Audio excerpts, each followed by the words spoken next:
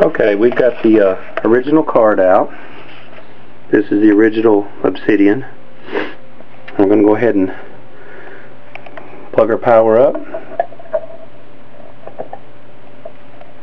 I'm going to go ahead and turn the system on. We're going to see how this new card does. Or this old card, I guess you would say. System's powering up. Let's cross our fingers. Got a tone, and that's great. See if we get a display. 3D effects initialized. It's hard to read. Initializing disk. Done. Initializing audio. Done. Loading game. Okay, well, at least we've got as far as we did with the 8 megabyte card. We've got a decent display. Everything looks good on this screen, which it did on the 8 megabyte card too. Now let's go on for some further tests. Intro looks good. Released a great evil upon the world. This demon, Skorne, fearing the power of the runestones, cast them to the far reaches of the four mystical realms in hope that they will never again be assembled and used against him. No one has dared try.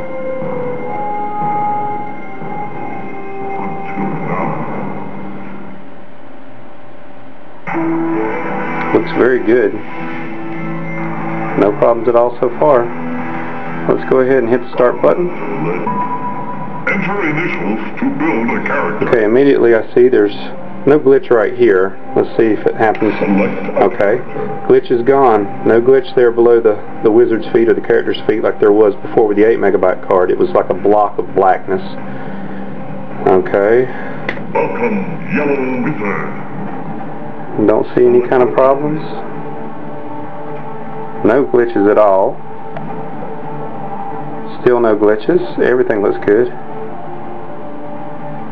The Mountain Kingdom. Okay, we're going in. Let's see if the intro plays now. This would be exciting if it does. Valley of Fire.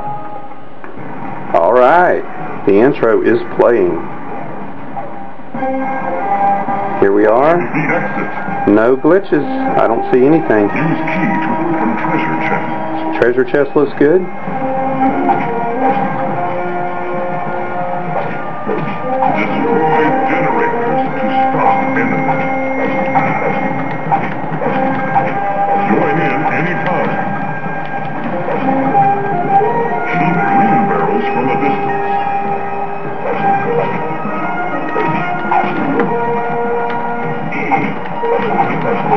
And I know it looks retarded me trying to play with one hand, but I'm trying to hold the camera, keep the screen on where the camera's focused,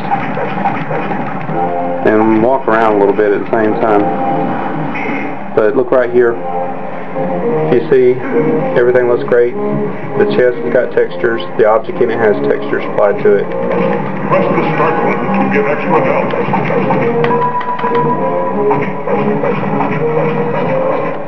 Who is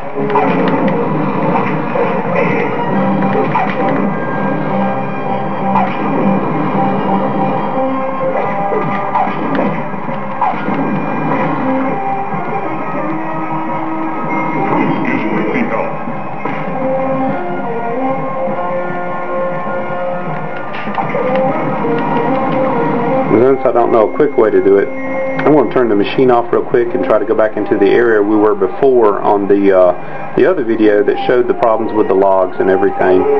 So uh, just let me cut away for a second. I'll come back and start that back up on that level.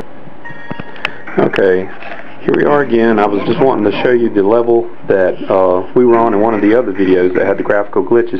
You can see now this demo is showing no problems at all. The card seems to be working flawlessly. I believe it will continue to work flawlessly. And uh, just to prove to you before we get started on this level, there's the Obsidian, the original Obsidian. It's got the hold down bracket and the one connector on the end. That's what came out of the card. And inside here, uh, if I'm blocking light, I'm sorry.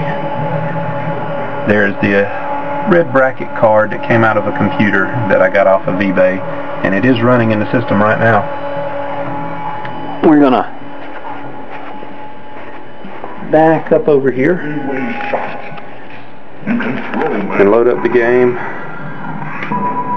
enter initials to build a character. Select a character. Welcome. I'm gonna pick the uh, acid swamp. Journey. The forest realm. Well, it's the forest realm. The acid swamp's the first Now enter area. The acid swamp. See, everything looks great. No graphical glitches. Here's the intro. We couldn't even see it the last time I tried the 8 megabyte card. Find the exit. And here we are. No graphical glitches at all. Destroy generators to stop enemies. Pick up the key, it looks normal. The logs up here, you remember those? They were white. They had no textures applied whatsoever. Look great now. No problems. Go over here to the chest, if you remember it. Avoid dangerous objects. If I don't get killed first. Food is picking out. Open up the chest, everything looks great. Item inside of it looks good. All the characters look good. No crazy squares on anything. No graphical glitches whatsoever. Can't tell the difference between this and the Obsidian at all. And like I said, I do believe the memory was the cause of the problem, not having enough memory. Now it actually has two extra megabytes in case it needed it, but I'm sure there's no use for it since it was it was programmed to use 10 megabytes and no more probably. I'm no kind of video card expert, but I don't think the extra memory is going to increase your your quality of the game at all right now. I think it just needed at least it needed at least the 10. Everything looks great. All the items, explosions, creatures, monsters, shadows, whatever. No problem. So, hope that proves that you can use an old Voodoo 2 from a computer in a Gauntlet Legends cab as long as it has enough memory. And uh, that'll end the video. Thanks.